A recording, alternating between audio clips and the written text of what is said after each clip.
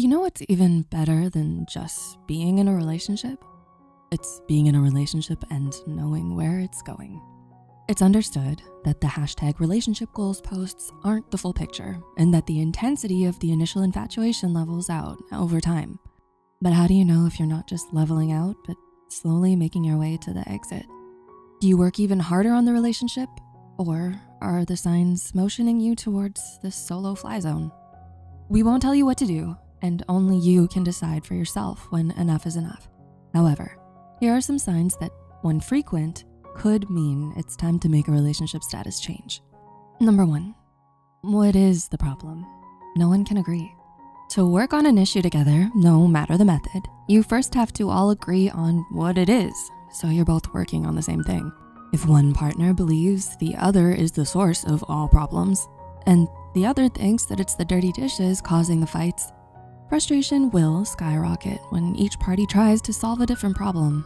Common ground is required to make real change. Each party making half-baked potatoes does not a meal make.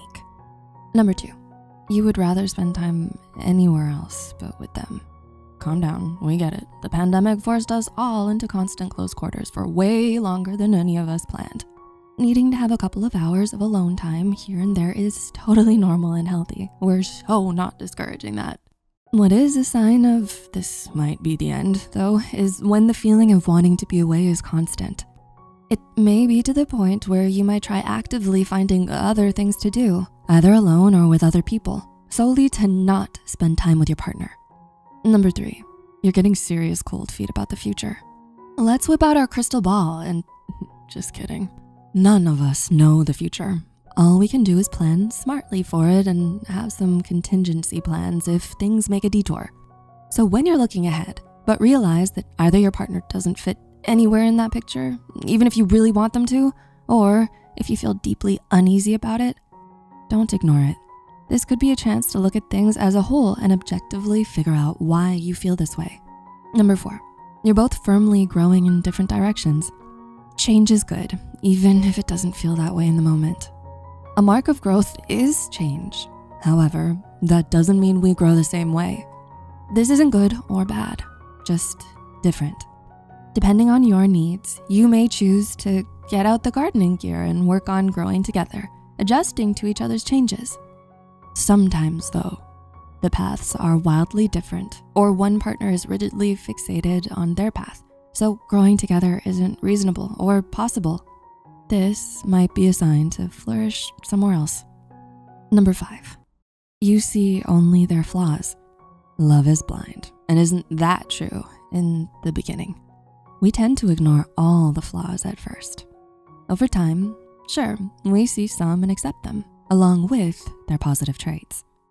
Should the way you view them now be the complete opposite of the beginning and all their flaws override everything else, that may be good about them maybe things are starting to derail. When you're not only noticing mostly their flaws, but are outwardly complaining about them to your friends all the time, to the point where they might start asking, why are you even with them? That could well be a sign that calling it quits could be healthy for both of you. Number six, the prospect of another partner seems more appealing. Don't worry too much about that cute bartender you saw or the attractive coworker you noticed is attractive we're still human. And just because you're in a relationship doesn't mean you suddenly don't know what good looking is. Do note if while thinking about someone else, you're also entertaining leaving your partner for them. If the notice undermines the connection with your partner, this could be a sign that the connection is weakened and may be on the verge of breaking. Number seven, your arguments are escalating. Disagreements can be healthy, helping us to learn more about each other if they become discussions with solutions, that is. Was not healthy? Arguments that are constant, petty, and have no solution. Maybe the argument was never meant to have a solution and you're both just hurling anger at each other like supercharged fireballs, the only intent being to hurt the other person. So don't throw in the towel if there's a fight, but it isn't a bad idea to assess what exactly is the goal of this fight. If it's simply for mutual destruction, the relationship may well be over. Relationships can be hard. We know nothing truly good ever came easy. So it's understandable that sometimes we give more time, thought, and patience to our partners than we would to others. Even so, it's always good to know your own boundaries so you can see when it's healthier to walk than to stay. Did you recognize any of these situations? Are you noticing something in yourself or others? Please discuss and comment. We'd love to hear from you. As always, thanks for watching and we'll see you next time.